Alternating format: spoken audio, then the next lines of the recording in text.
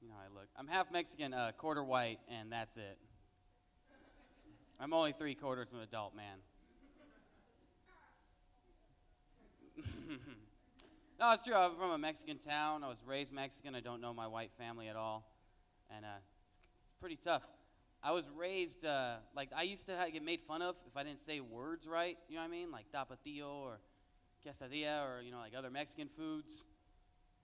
But now since I moved to LA and no one knows I'm Mexican and I'm this aggressively white, I have to say them white. You know what I mean? Otherwise, I look like the guy at Starbucks that says croissant. Just a douche. I got out of the military about a year ago now. It's pretty cool. Get to smoke weed. Anyone? Smoke weed? What's up? Yeah. Getting real introspective, you know, dude? Thinking about stuff. I think it's interesting how, I don't know whose job it was. Like, as a society, we all just, like, made up these things that, like, define who we are, like numbers and lines. Like, at some point, someone put a line, decided, like, right here, I'm not short enough to be a midget. That's what that line says. And then they drew another line that says, like, I'm not tall enough to get any respect. you know, as a man. The one I think's the most interesting is uh, the IQ, like the IQ test. Like, I don't know how they came up with, like, someone put a dot and said, right here, if you're at this point point below, then you're, you know, you're mentally challenged. You're special, you know? But if you're just right above that line, then you're just an idiot. I don't know how that. Like right here below, you get all the sympathy in the world. right above it, just get the get the fuck away from me, dude. Had a long day.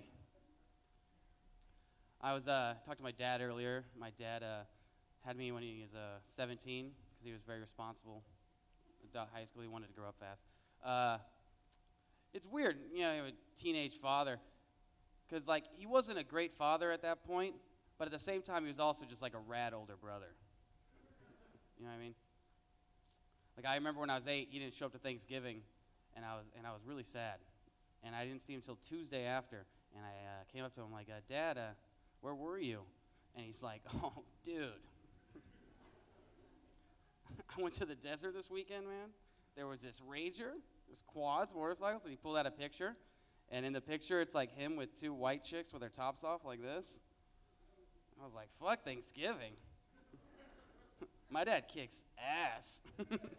That's my time. Thanks, guys.